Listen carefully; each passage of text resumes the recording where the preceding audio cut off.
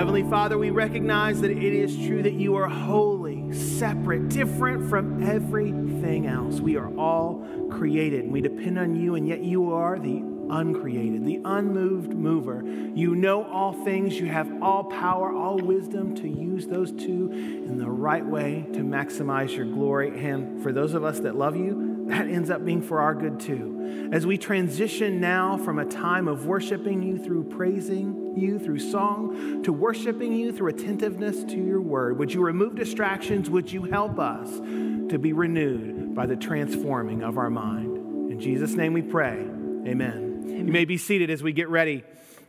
I would encourage you to open your own copy of Scripture to Ezra. We're going to be in 9 and 10, and we're going to finish the book of Ezra out this morning. As we do so, I guess I should issue our young people like these things called trigger warnings. They typically drive me nuts, but I guess I will issue a trigger warning of sorts. I'm going to talk about weird combinations, and when I think about combinations, I think about food. So some of you that are hungry, I'm sorry, we're going to talk about food for just a moment, and I'm going to talk about peanut butter and jelly first, right? it, it is a good combination, something that we classically put together and taste really wonderful together. Well, maybe there's some other combinations that you might be aware of, like peanut butter and banana. This is something that the king of rock and roll, Elvis, really enjoyed. and He'd fry these sandwiches. They're pretty good as well. I've had those. Don't leave them setting for a while. There's just a tip. They turn brown or turn black and gross real quick. But that's good, but unusual. Well, there's also this trend that we find on YouTube and other places where people just put the weirdest things together. And, and if you eat things like this, I'd like to remind you that I'm always available for prayer after service because maybe you'll need it for the horrible indigestion, or maybe you just need a prayer for wisdom in your life. I'm not sure. Joke aside, though, I, I some reactions are really important and really do have an impact on the things that we do. Like a chemical reaction two things come together and something happens to it. The situation changes. And sometimes they can be very explosive in the way that they combine. I was in the office the other day with Sheila, and I guess I was avoiding work because I stepped out of my office and I was talking with Sheila, and I can't even remember what, but somehow one of those kind of general trivia things came up that I happen to know that you could take some chemicals from over the counter that you could get, one store bought item you could find anywhere, one you could find in a lot of places and specialty stops, and you could mix these together even by accident, and you could actually create a lethal gas that would come out.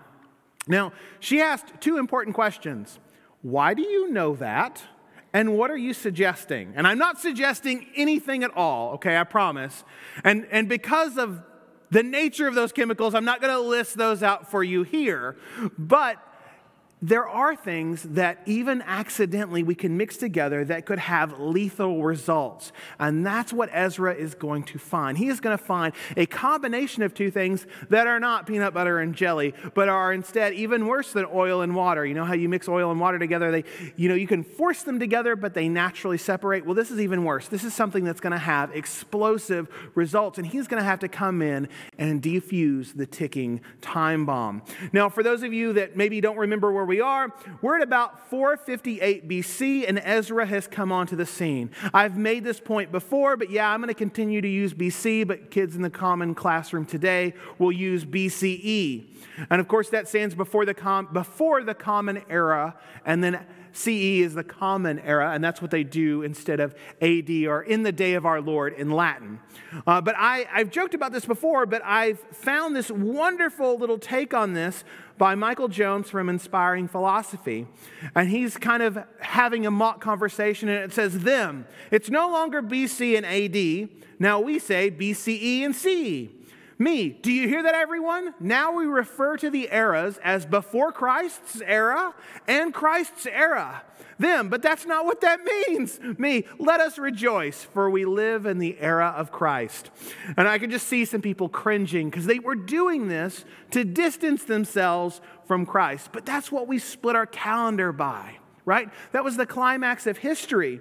But this, of course, is before that. This is with Ezra, and Ezra is coming on the scene in the Old Testament, and it's all part of God's plan to set up the Messiah. He's built the second temple now, or they have built the second temple now, the same temple that Herod would eventually make some improvements on and Jesus would walk into.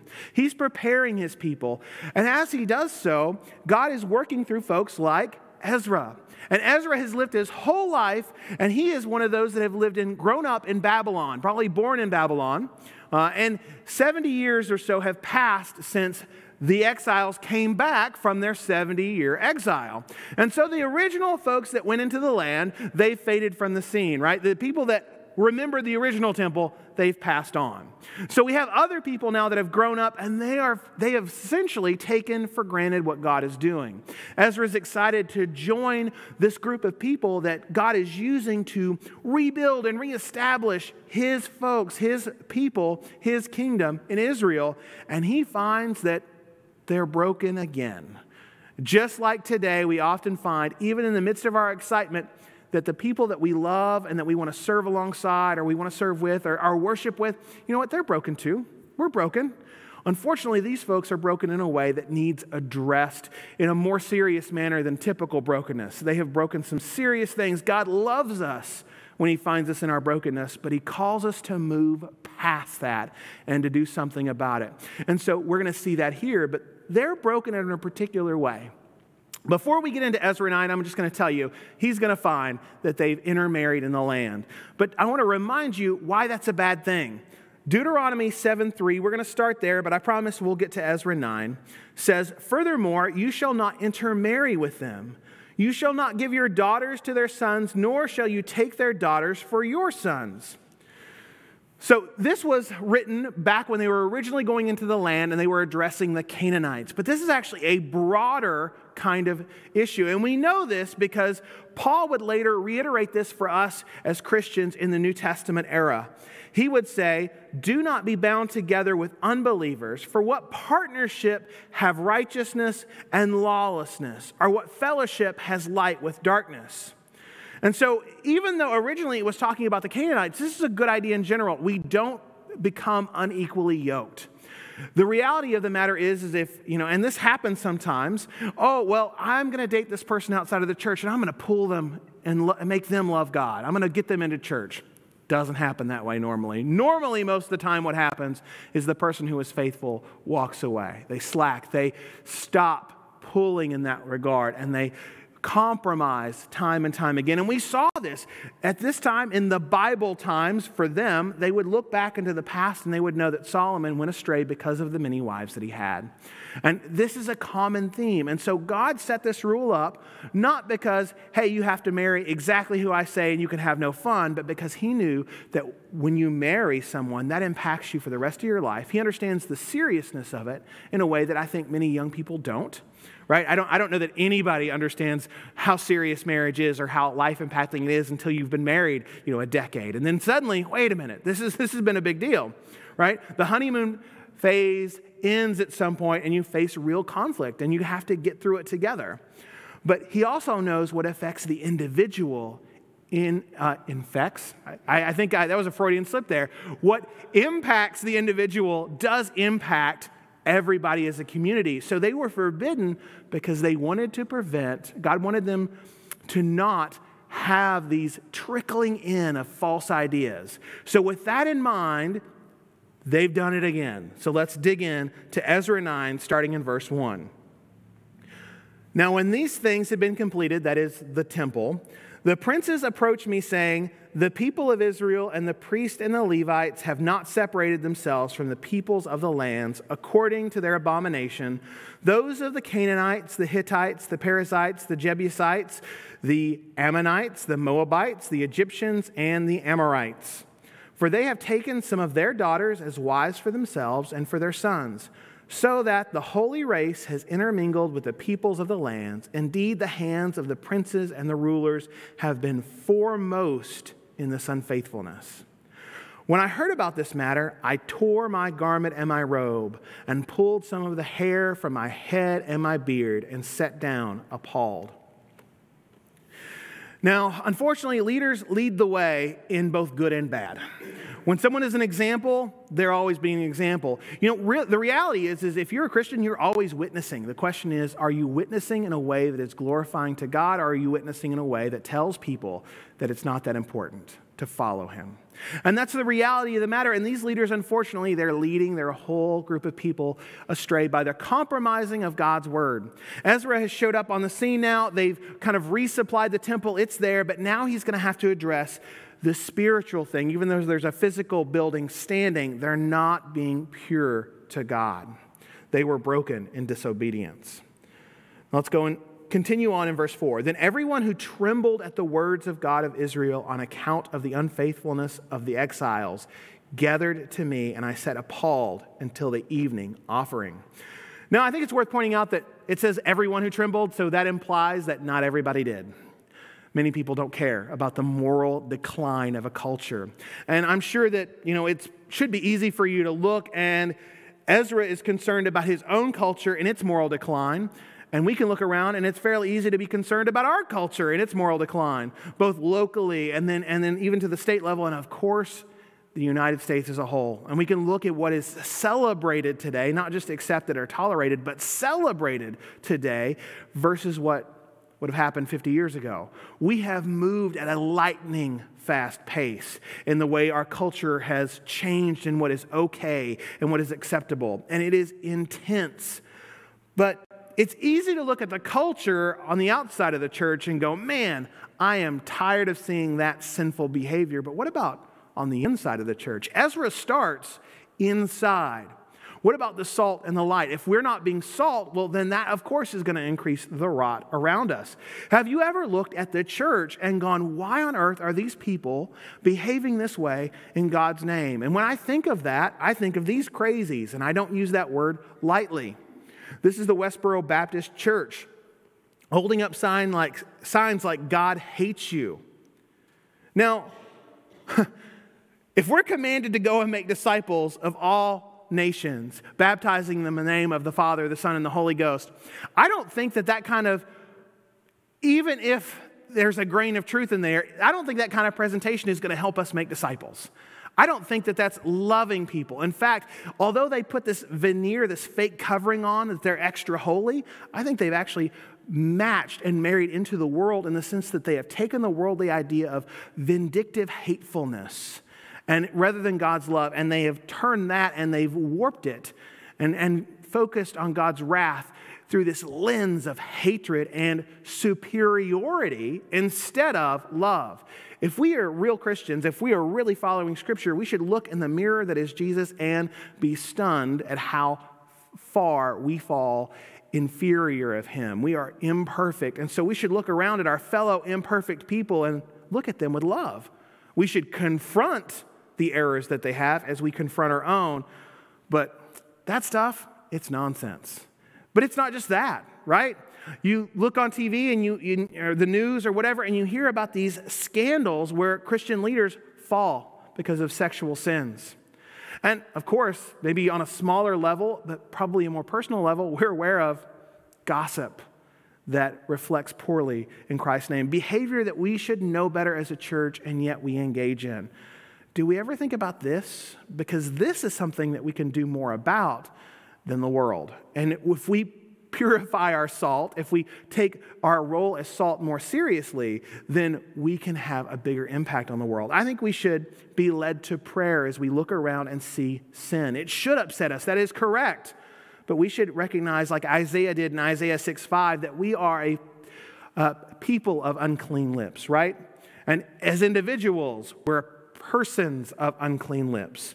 So that's what uh, Ezra is going to do. He's going to recognize that his nation, his culture that he loves, that he's moved from Babylon into with excitement, that they are a sinful people.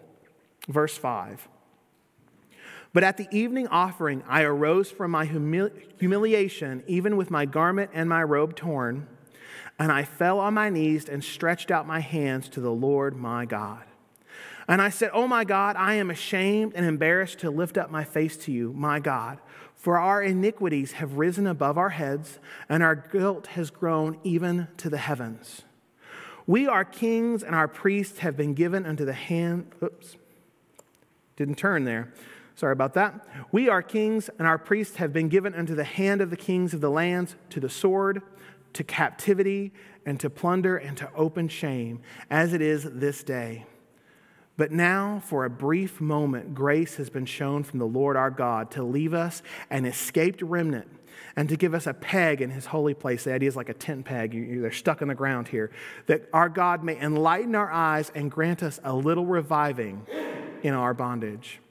For we are slaves, yet in our bondage, our God has not forsaken us, but has extended loving kindness to us in the sight of the kings of Persia to give us reviving, to raise up the house of our God, to restore its ruins, and to give us a wall in Judah and Jerusalem. Ezra is praying, and he takes a moment in the midst of recognizing how sinful they are to thank God for what he's done. Sure, ultimately, they still owe allegiance to the Persian king, but they have been allowed. They have been allowed to go back to this land. They have been allowed to rebuild a holy place where God has done much for their people. And note he says, our sins we have this idea of radical individualism in the West. But they understood as a culture that, yes, the individual is important, but what the individual does impacts everybody else. You know, we kind of think marriage is, you know, it's, it's my choice and it's just impacting me. Well, let's be, real, let's be realistic. We just came from Thanksgiving and then we're going to go into Christmas. You know that some of the people around the table, their, their spouse is going to impact your family time, right? It's going to spread. And when they're doing it as focused only on the short term and their pleasure, and they marry someone not because they are going to increase their holiness, not because they're going to work together for God, but they're marrying them for the wrong reasons. And they find themselves married to somebody who is a spouse who will drag them down or lead them into compromise well, it's going to spread and impact the whole family. And here he recognizes our sins. You know, it's easy for us to separate out like, oh, we're the, we're the conservative streak or whatever, the sane streak of California, right? And, and I think there, there's some truth to that. But on the same side, we're still Californians. We need to pray for the sin of all the Californians. So if Ezra was here today, he would go before the Lord as, as saying, Lord, we as Californians, we have forsook your clear commandments. We have forsook things that are clear and we should be doing and following. And we've chased after our own self. And we've chased after power and money and convenience. Father, forgive us. And so he, even though he wasn't guilty himself, he identified with his people who, was, who were sinning in this way. Verse 10 Now, our God, what shall we say after this? For we have forsaken your commandments, which you have commanded by your servants, the prophets, saying, The land which you are entering to possess is an unclean land with the uncleanness of the peoples of the lands, with their abominations, which have filled it from end to end with their impurity.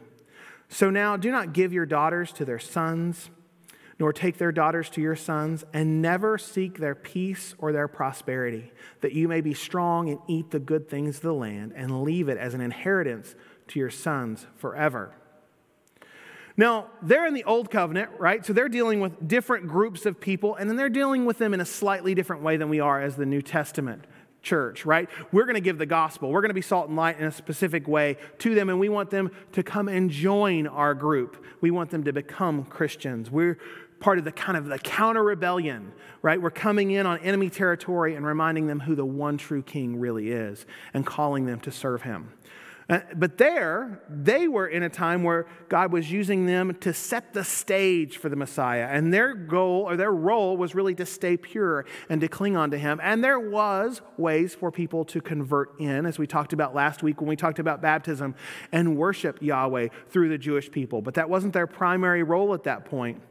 But they were not even to bless these other worldly nations in a way that would strengthen them.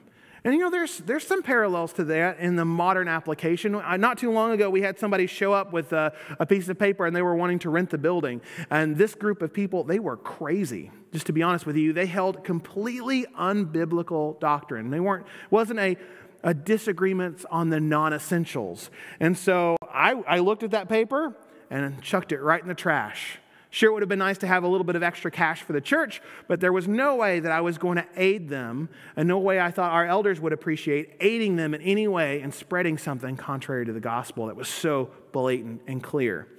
And so that's the kind of thing that we can deal with today. We can love them, but that doesn't mean we have to help them spread false ideas. We need to lovingly confront and correct. Continue on in verse 13. After all that has come upon us for our evil deeds and our great guilt, since you, our God, have requited us less than our iniquities deserve and have given us an escaped remnant as this. I'll pause there for just a moment. Did you catch that?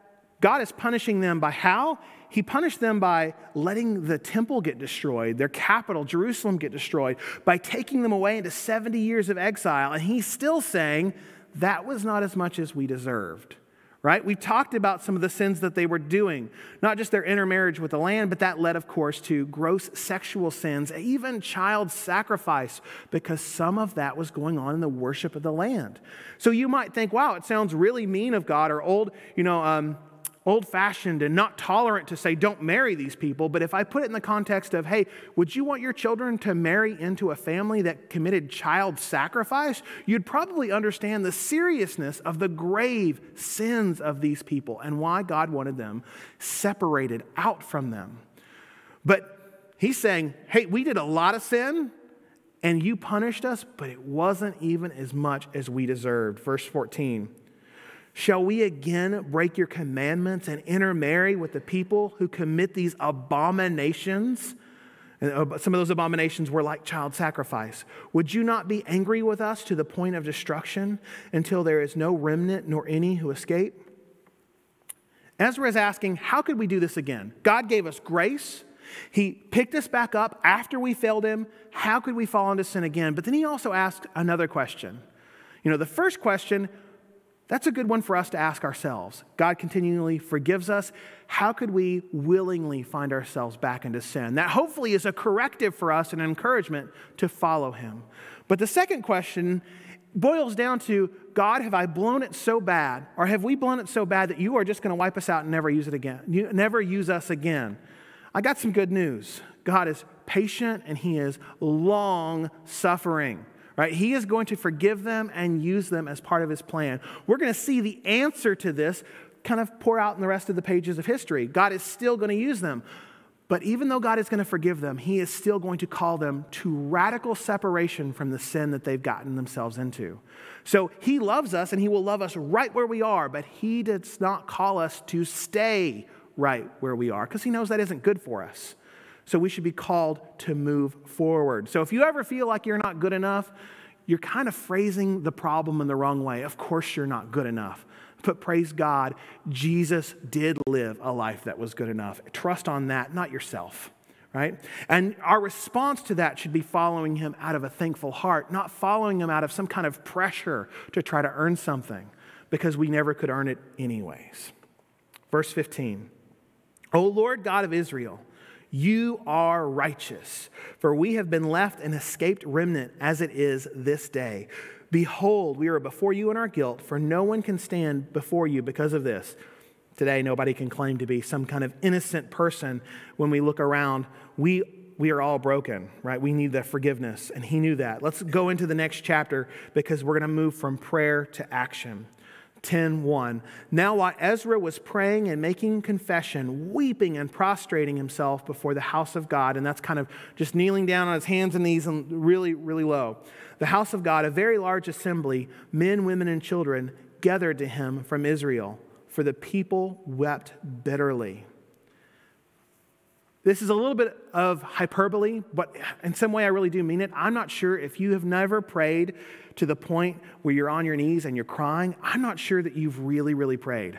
Like there is a level of depth in prayer that is so important to reach where you really understand the wickedness of this world because it helps you understand how good God is and how much He loves us. And we really do. I know men, we don't always cry, show our emotions very well, but we really do need to deal with them. And dealing with them before the Lord is an appropriate place to deal with them. And so they are upset. They recognize what they did, and we can't solve a problem until we recognize that there is a problem. So they recognize, yeah, we've blown it and we've done it again.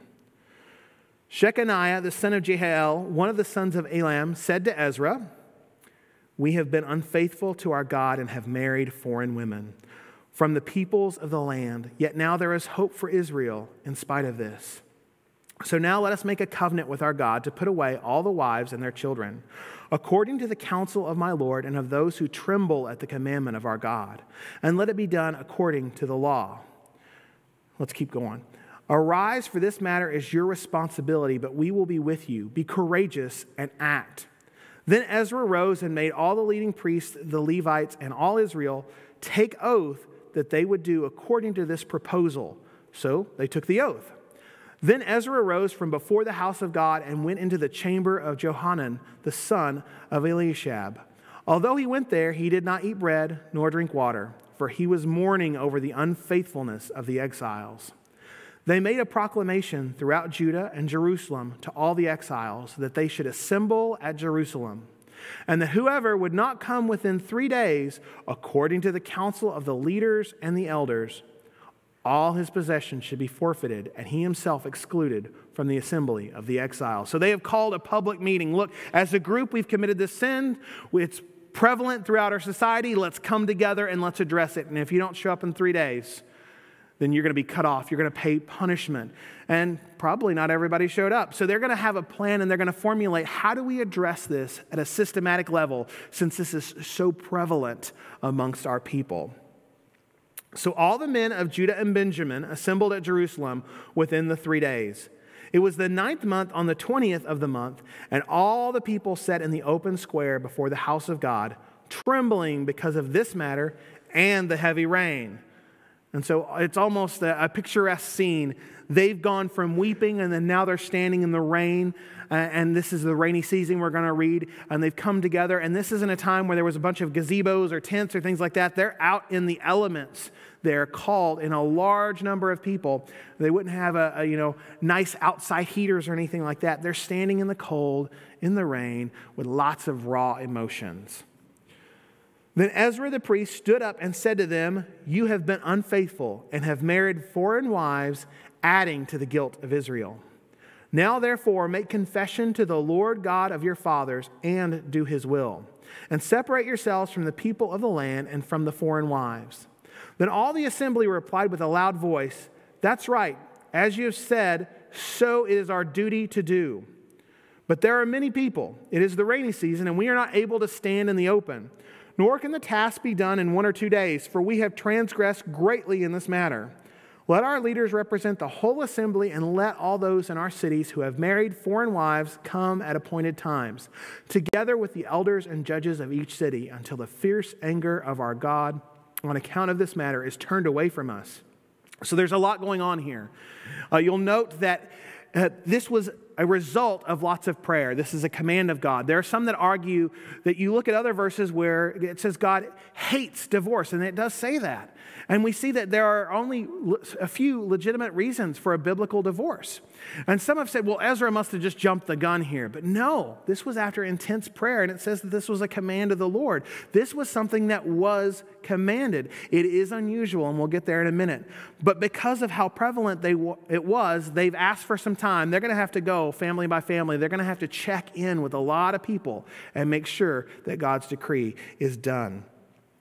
Only Jonathan, son of Asahel, and Jahzeiah, the son of Tikvah, opposed this, with Meshullam and Shabbethai, the Levites, supporting them. So there's, there is a little uh, dissension about this because this is a pretty radical separation. And I can imagine people going, oh, no, this is too much. We can't do this. We've, we've already been married for so long. That doesn't seem loving. Let's, let's work this out. But the exiles did so. And Ezra the priest selected men who were heads of the father's households for each of their father's households, all of them by name. So they convened on the first day of the tenth month to investigate the matter. They finished investigating all the men who had married foreign wives by the first day of the first month. Among the sons of the priests who had married foreign wives were found of the sons of Jeshua, the sons of Jozadak, and his brothers Maaseiah, Eleazar, Jarib, and Gedaliah. They pledged to put away their wives, and being guilty, they offered a ram of the flock for their offense. I'm not going to read all of these names here, but what you need to know is that they, they started with the leadership. They started looking there, and that they counted on a sacrifice for their wrongdoing, and they also repented. Just like today, we count on Jesus for the payment of our sin, and also we don't continue just to walk in sin because Jesus paid the price. Instead, we follow him in faithfulness. So I'm skipping some names here. All these had married foreign wives, and some of them had wives by whom they had children. Now, this was an eight month uh, long ordeal or so, and Ezra has arrived and he's gone through and he's orchestrated this setup, and they've gone through and they've caused these families to be ripped apart.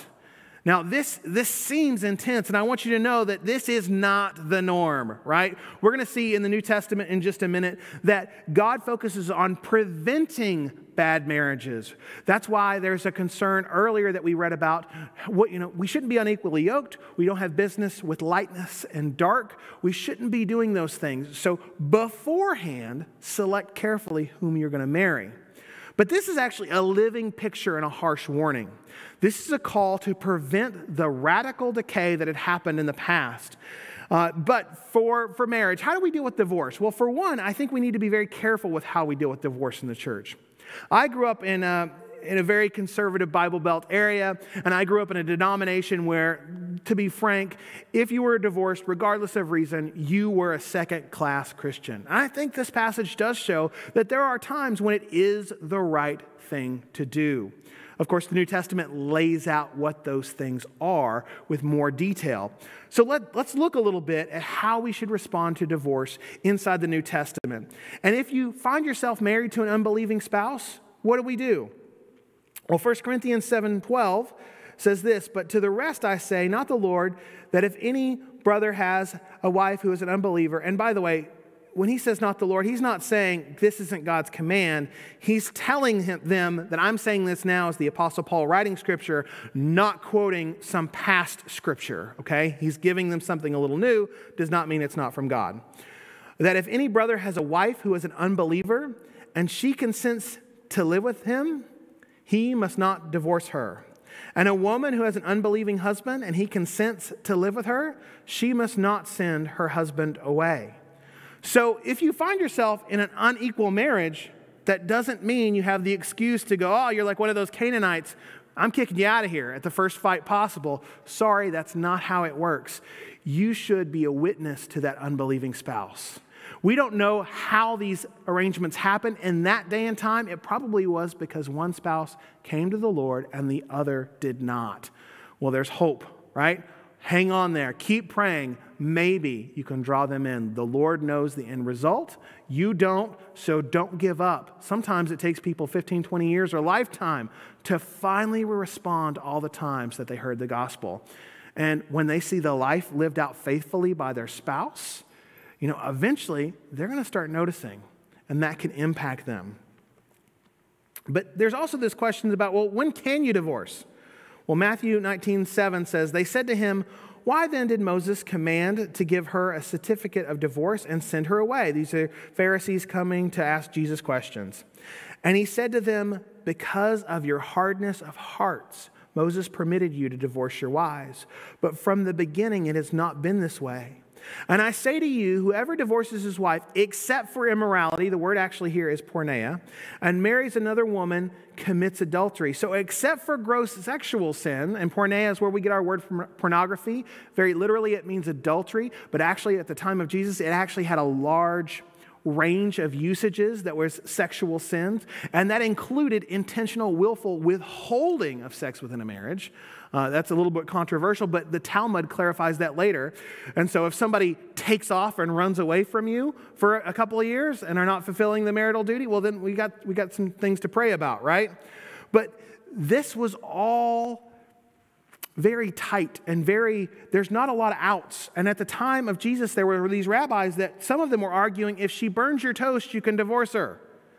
That is not what Jesus was saying. He was saying that marriage covenant is so intense that there are very few reasons to get out of it, and they have to be very, very serious. And actually, even that picture of adultery comes back to the idea that marriage is a picture of God and, and, and the marriage to the church, Jesus, the Son, and the marriage to the church, and their unfaithfulness. That's why idolatry and adultery are so often compared right? And so even then, you know, there's, there's something more going on here in a lesson. So he is saying, no, you need to be radically committed. But are there sometimes? Yeah.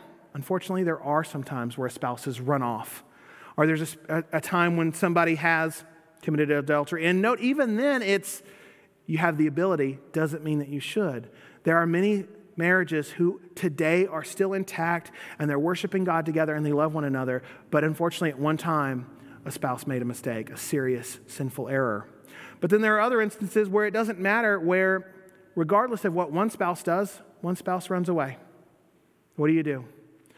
Well, we need to have grace for some of these individuals. And at some point, they sin and they've gone on, and there's actually freedom to the ability to move past that.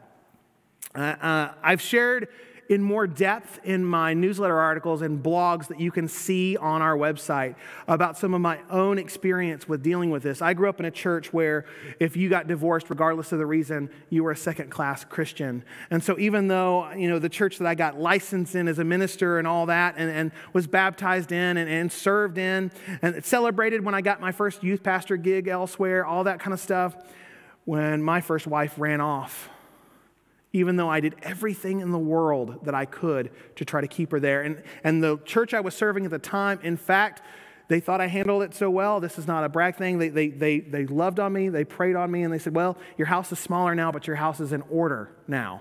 It's smaller, but it's in order. They, they walked me through that with love.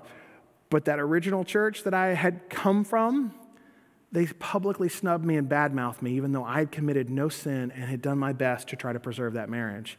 And I've seen Christians eat their own on this topic of divorce so many times it is ridiculous. The reality is, is that when you see somebody that's gone through a divorce, they're already hurting. Why are we adding to that hurt? Why are we turning them into second class Christians, especially if we don't know all the things that have gone on? Because there are biblical reasons for divorce. But I think we need to be careful here. Ezra 9 and 10, it tells us that sometimes that's appropriate. But the real picture is we shouldn't live passively in a situation that will cause us to stumble. It has more in common, uh, in, at least in our practical applications in our daily lives, with this passage, Matthew 18 9. The words of Jesus, if your eyes cause you to stumble, pluck it out and throw it from you. It is better for you to enter eternal life with one eye than to have two eyes and be cast into the fiery hell. Now, of course, this verse doesn't mean if you see a beautiful woman, uh, if you're a man and you can't control your lusting thoughts, that you rip your eyes off. Well, no. Plucking your eyes out, guess what? You still have a memory, and maybe you've seen things in your past. But it means that we need to radically separate ourselves from things that are temptations and that will cause us to sin. I know in my own life, I got called a monk by a family member for doing this. After I got saved, there was some material in my bedroom that was not appropriate for me to have, and I burned it in a barrel because I did not want those things to tempt me again. I know other people who said, you know what? I can't have a smartphone because if I have a smartphone, I'm going to sin. So you know what? I don't do that. I just don't have one. So there are, I don't know what it is in your life, but you know those situations that cause you to face intense temptation. Why play with fire? Why continue to go back to situations or to set yourself up for potential failure? Instead, you need a radical separation from those things. A radical separation so that you can pursue God and not pursue your own desires that will lead you astray. Let's ask God for wisdom and how to do that. Dear Heavenly Father, we ask you to help us. Help us to love our love our spouses. This verse was about marriage, or this passage was about marriage, and we ask that you would make wonderful, holy, and healthy marriages a part of this church family, and that you would call us each to love our spouses self sacrificially.